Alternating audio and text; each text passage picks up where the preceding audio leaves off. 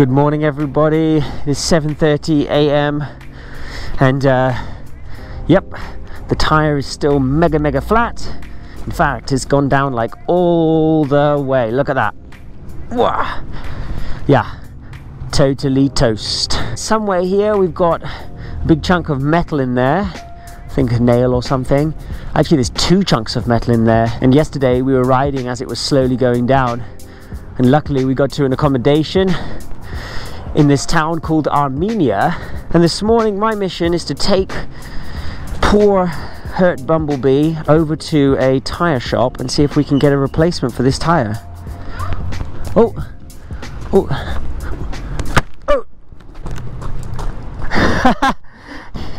Hit me on the head. Bye bye. Hi, I'm Lavi. And I'm Ollie. And this is our hero, Bumblebee. Together, we are attempting a Guinness World Record to become the youngest pair to circumnavigate the globe By motorcycle. Join us for season 3 here in South America.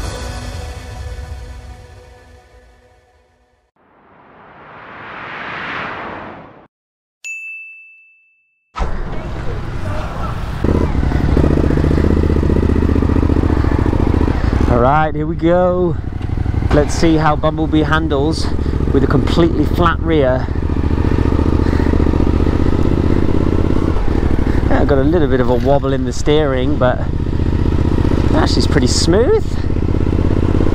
So there is actually a motorcycle shop just there, but we we had a look at the pictures of this one. I think this one's called Ronda, and uh, in the pictures this one looks like it has a lot of tyre options. And maybe even some 50-50 or sort of more off-road on-road tyres rather than just road tyres but let's see what they've got that will fit our tyre size. Oh red light. Lavi's obviously staying at the accommodation this morning chilling having a coffee in bed hey? Actually handling pretty well with a completely flat rear. It's literally only a few blocks away couple of blocks more and then to the left a couple of blocks down there and we should be there. Look at this crazy church. Oh really historic and nice. Don't run over the dog. Don't have insurance to cover dogs. What am I doing? I'm going into normal motorbike mode like yeah just blast past the bus I'm like wait hold on a minute. I've got literally got no air in the rear tire. I should take it easy. Right everything's alive at um, 7.50 in the morning. Crazy. Let's just see if the mechanic is alive.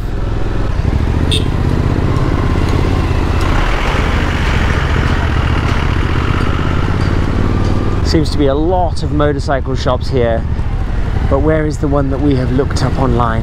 Ah oh, where is it Ronda, Ronda, Ronda, Ronda, Ronda Ronda, Ronda, Ronda it had lots and lots of tires Ah, Ruda.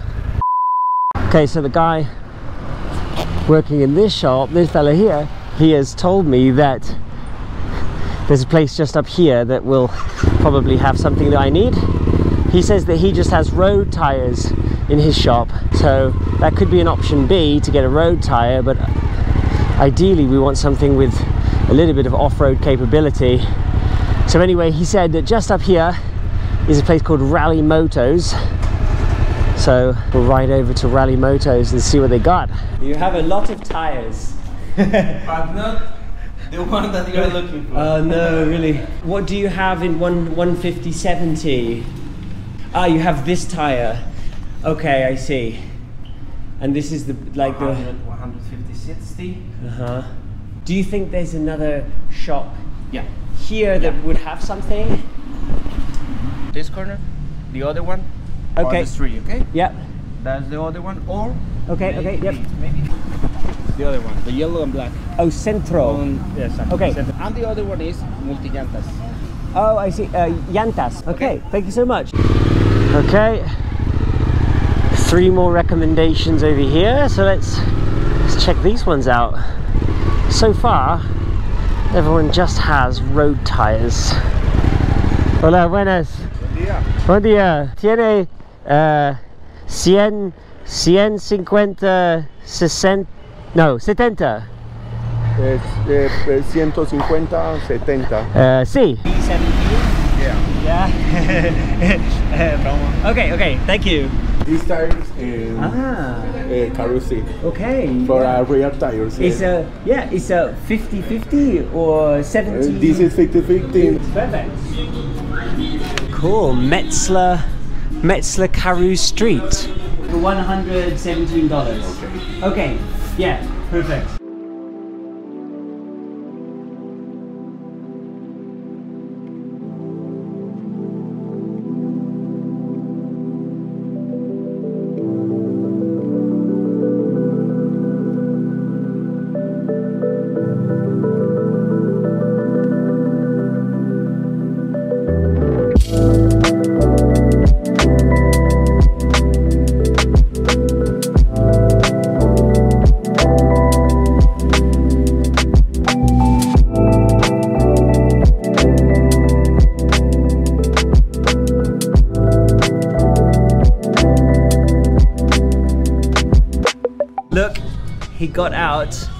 Nail from the tire. Look how big that is.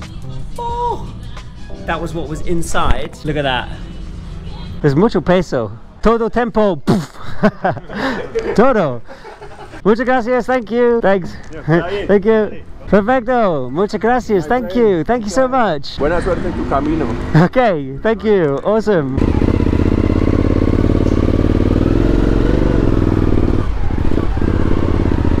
Yes, Bumblebee is back on the road with the new Metzeler Karoo Street tire, I think it's called. So that is awesome, and that was done super fast. It's only 9 a.m. So managed to get that sorted super fast, super easy. So I'm just gonna head back to the hotel where Lavi is and we'll uh, load up Bumblebee ready to hit the road. There we go, look at these. Wow, they look amazing.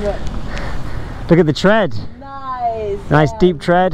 Really cool. Look how wide it is. It should last a lot longer. Hopefully. well, I'm so super happy that we managed to get a new tire because otherwise it would have been a disaster. I mean, our flight is very, very soon. So I'm super happy about that. Bravo. We love you, Colombia. Muchas gracias. yes, it's a new Bumblebee. All right. Ciao, ciao.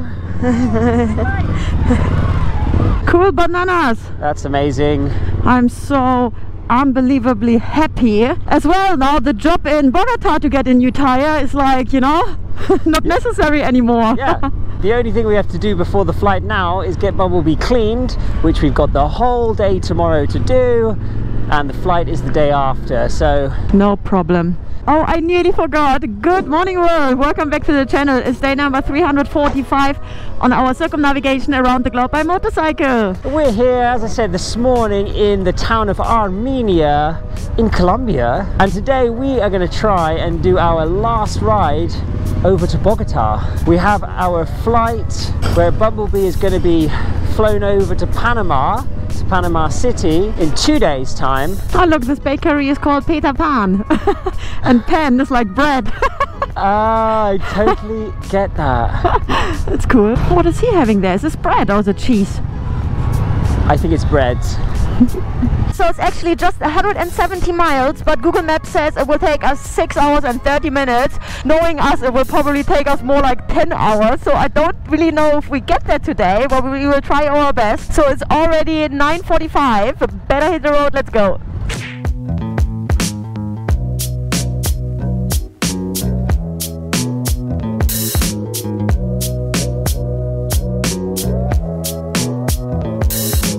Wow, I can't believe how good the tire feels. So smooth around corners and just the handling. It's really good. It's really good. Yeah, let's see how long this tire will last for.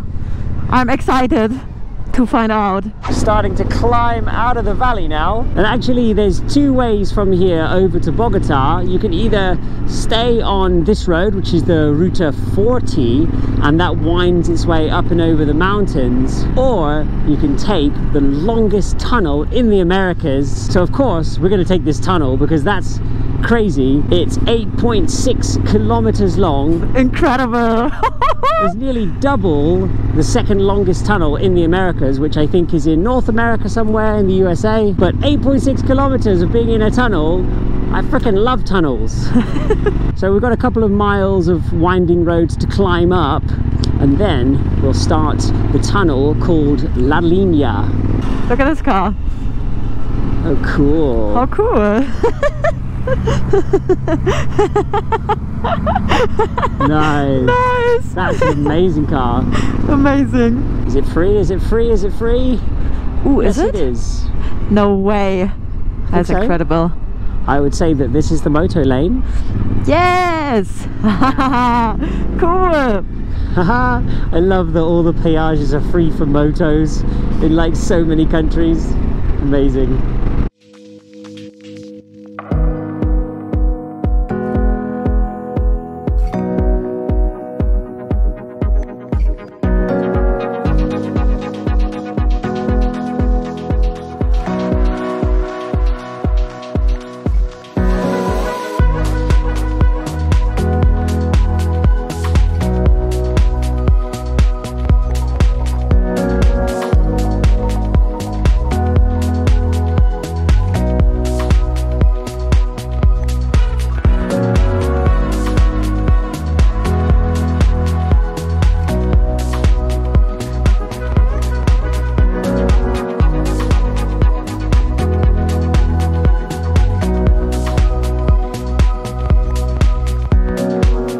My god, we just went through the longest tunnel in the Americas and my front camera totally froze and didn't record anything.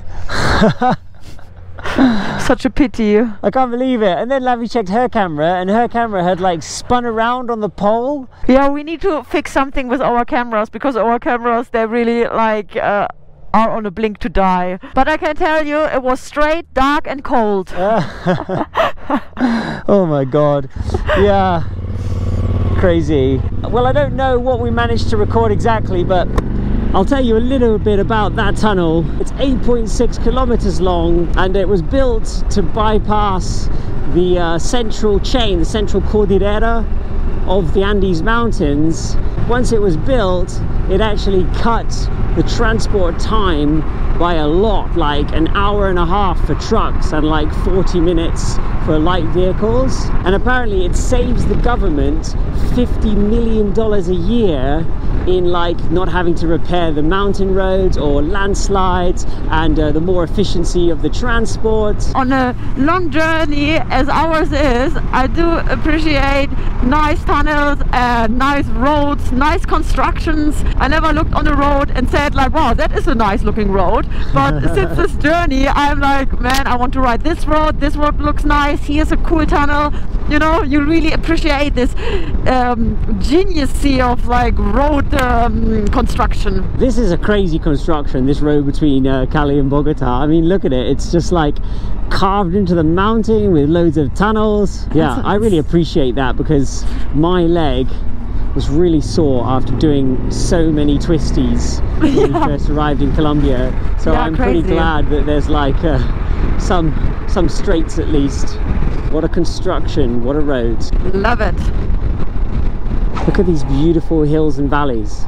Yeah, it's absolutely amazing here. I love the nature so much. Colombia is actually the second most biodiverse country in the world, which is absolutely crazy, but it's because they've got the Pacific coast, they've got the Atlantic coast, they've got the Andes mountains, they've got the Amazon rainforest, they've got desert in Colombia as well. How crazy is that? They have even a desert. Yeah, and you can just see when you look around you. I mean there's such a variety of different plants and colors and everything you know? It's like super crazy. I'm really blown away. I didn't really expect that. Wow, we just ordered a vegetarian rice dish and look at this beautiful thing.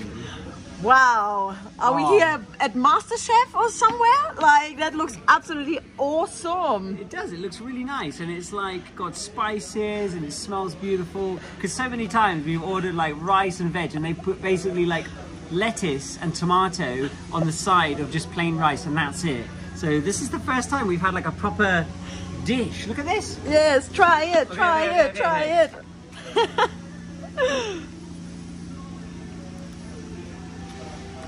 Mm.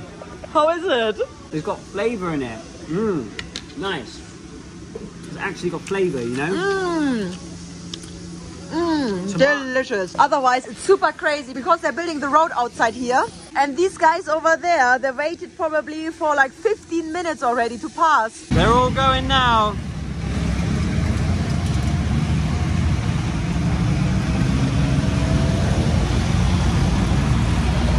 Crazy, they just opened the road and now it's like bow, bow, bow, bow, bow. And this is the same direction that we're going. So we're going to be stuck behind all of this after lunch. We were just about to go up the hill and we realized that we've missed our chance. It's like a one-way system at the moment because of the construction. And at the moment, everybody's coming down. So basically we have to now wait for these guys at the bottom of the hill and then we need to be the first to go up the hill. So now we have to wait maybe five, ten minutes more.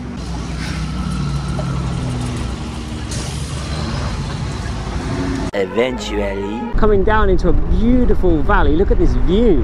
And we're no longer stuck in any traffic jams, which is great. And I thought this would be a good opportunity to uh, tell you guys a little bit of our research into this wonderful country, Colombia. So the area, what is Colombia today, has actually been home to indigenous people for 14,000 years, at least 14,000 years. From uh, archaeological sites, they've managed to date it to 12,000 BC. So humans have been here for a long time. But the Spanish got here in 1499 and uh, Colombia didn't actually get its independence recognized until 1819. And now the country is home to 52 million people and is the second biggest economy in South America. And although Spanish is the national language of the country, there are actually 64 other recognized languages, uh, indigenous languages. And also, interestingly, there's some islands where English is the national language. The islands of San Andreas uh, in the Caribbean, they are Colombian, but the language is English. Yeah, super interesting country. Yeah, so we still got four hours riding to do to get to Bogota and it's currently quarter to one so we're still doing pretty good. At the moment there's still a chance that we can make it there today.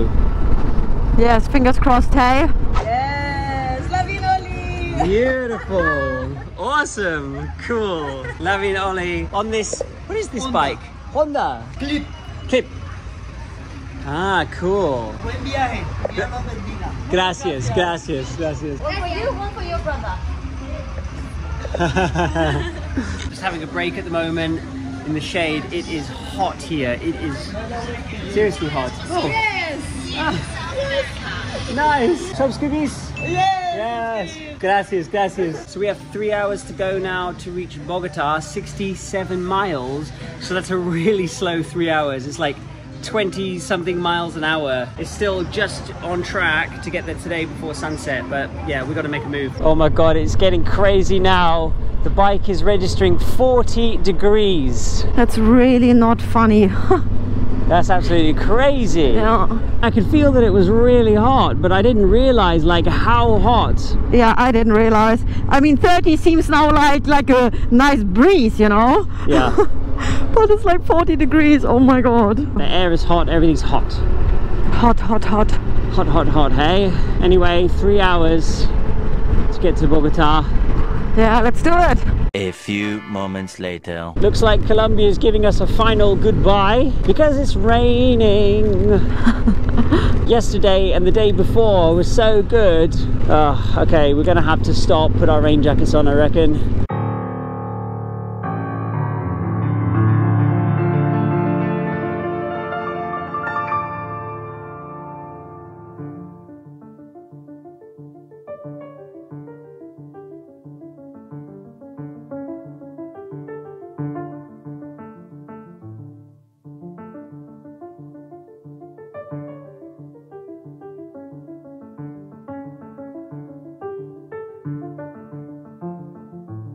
Just stopping here at the side of the highway for our last break.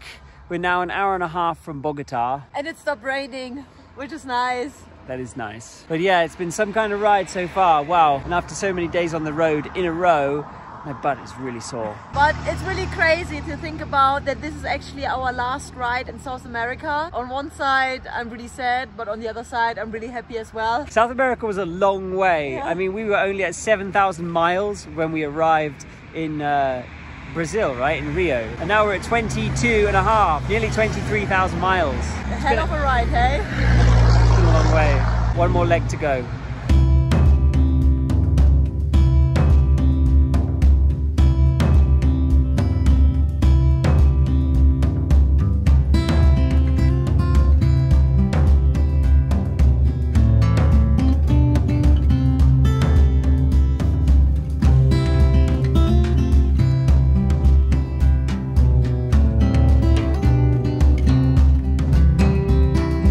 Okay, we're definitely getting closer to Bogota now because, oh man, it's getting a little bit busy, let's say. We hit some really serious traffic here, definitely. Yeah, we are only about seven miles, six or seven miles. no, even like, wait, let me see you. how many miles we are away. We are away six miles. Six miles from our accommodation, which is basically in the city. They estimate it will take us 33 minutes. yeah, it's going to be a pretty slow, slow slog in this last bit, but it's been pretty good. But then suddenly it was just like, boom, you're on this road heading into the city with everyone else. Man, it's absolutely, absolutely mental here. Yeah, and a lot of a lot of motorcyclists they're taking like this side bit here, but I mean that's like an off-road obstacle course over there. I don't know. I mean look look at that. Crazy, man. I just don't want to get another nail actually in our new tire. This is like my worry. Yeah, I don't think it's a good idea that we No. come off this road and onto the side there. Look at it. Wow. But look at that. Hey, everyone is like trying to to make it. Yeah, I, I mean good on these motorcyclists. They're doing really well. they're really trying. Wow, incredible. At least all the motorcyclists are wearing helmets here. Like a lot of them, hey? Yeah, it's true. I think they. Uh, I think it's. Oh, mate, I'm going to go here. Yep. I don't know if this is buses only or whatever, but we'll do it. Yeah, I mean all bikes did it, hey? Everyone's doing it. Oh my god, they're nearly getting squeezed in between two buses. Oh Oh my, lord. oh my lordy lord. Yeah, let's go down here. Yes. This is the moto lane Woo! and the bicycle lane. so whilst we're grinding our way into the outskirts of Bogota, I thought I would give you some facts about this city. So the city has a population of 8 million people. It's also the third highest capital city in the world after La Paz and Quito. Yeah, it lays 2,640 meters above sea level. It's on like a high plateau called the Bogota Savannah, so it's actually much cooler here uh, than it was for most of our ride through Colombia. I mean, here is now 26 degrees. It's pretty crazy to think that at one point today we had 40 degrees actually. Yeah, so it's definitely nicer to be at this altitude than it is to be where we were before. The city was actually founded in 1538 uh, and it was made the capital of what was at the time called the Kingdom of New Granada and then it was transferred and became the capital of Colombia when they got their independence in 1819. so it's just one mile to go, Wow. Whew, just seven more minutes apparently. The tough last mile, hey? Yeah, you know, I'm just like, come on, let's get Bumblebee there in one piece. We've survived so much. Yeah. It's always uh, tricky going into the cities. And we always apparently have a reason to ride into every, nearly every capital city for every country we go through. Palacio Real. I think that would be their parking then, just here. Yeah. Oh, look at dog! Hello! that dog is too big for that bike. Oh my oh. lord.